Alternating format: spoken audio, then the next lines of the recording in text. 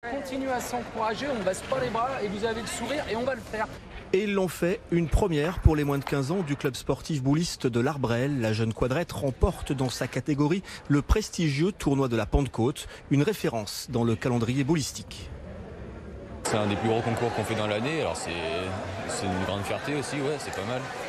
Et euh, bah, surtout euh, gagner avec une équipe euh, avec qui on joue, qu'on s'entraîne toute l'année, quoi, c'est bien. Hier, on a fait des belles parties. Surtout en demi-finale, on avait joué une grosse équipe. Donc on est assez fiers de nous. Et on a à peu près tous bien joué aussi. Tout le week-end, 4500 pratiquants de boules lyonnaises, les meilleurs de leur catégorie, ont dû faire preuve d'adresse, de patience, de calme, de stratégie, d'endurance aussi. La lyonnaise est un sport.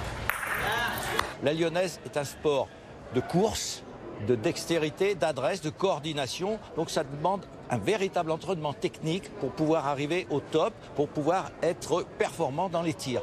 Au point, c'est un petit peu la même chose, parce que le point se pratique en mouvement et pour trouver les longueurs, surtout sur des terrains très difficiles comme nous avons ici à Lyon, eh bien, euh, il, faut, il faut de l'entraînement. C'est un vrai sport, oui. D'ordinaire place Bellecour, la 108e édition du tournoi a été délocalisée au boulodrome de Dardilly. 930 équipes venues de 65 départements étaient représentées. Ça faisait deux ans qu'on ne l'avait pas fait, ça manquait.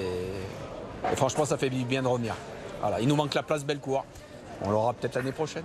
Retour à Bellecour en 2023, des discussions sont en cours avec la ville de Lyon. Les organisateurs ont bien l'intention d'atteindre leur but.